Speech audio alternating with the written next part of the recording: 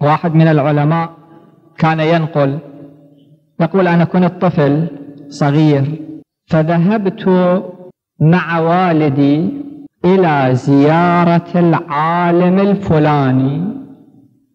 ما أجيب اسمه لعل كلكم سامعين باسمه. عالم من كبار العلماء. وما أظن أنه أكو بشهرة في علماء الشيعة قاطبة إلا أفراد قلائل. كلش عالم مشهور. يقول إلى بيته مو في غرفته اللي يستقبل فيها الناس كان في غرفة داخلية. العالم كان قاعد. وأنا ومع والدي ذهبنا إلى الغرفة. فيقول كنت ألاحظ الغرفة وإذا بي أجد قدرا في رف في هذه الغرفة. قدر. عليها آثار السواد آثار الفحم آثار النار. فأخذت أنظر إلى هذه القدر متعجب أنه هذه القدر ماذا تفعل في غرفة هذا العالم الكبير؟ فيقول هو التفت إلي وقال كأنك تتعجب من وجود هذه القدر. قلت نعم. قال في الواقع هذه القدر وضعتها في هذه الغرفة لكي تذكرنا بأيام طلبي للعلم. أنا عندما كنت طالبا للعلم قبل حوالي ثمانين عام كنت فقير إلى أبعد الحدود. هذه الوسائل ما كانت موجودة. هذه التسهيلات ما كانت موجودة. بعض العلماء نقلوا أنه من الليل إلى الصباح كانوا يرجفون من البرد.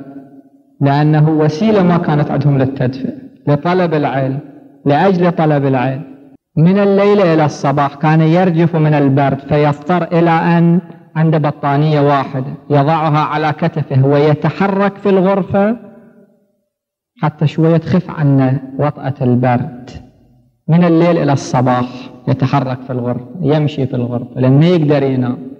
يقول جدا كنت فقير. حتى حتى لم أكن أجد ثمن الخبز. خبز آكل ما كان عندي. وأنا عفيف النفس. ما أتمكن أقول لواحد. ما أحب أقول لواحد. فكنت في الليالي المظلمة أخرج إلى سلة المهملات. لاحظوا الجهاد حقيقة. وأجد فيها قشور الرق. وما أشبه ذلك. آخذها وأنظفها وآكلها في هذه القدر هكذا كان يعيش.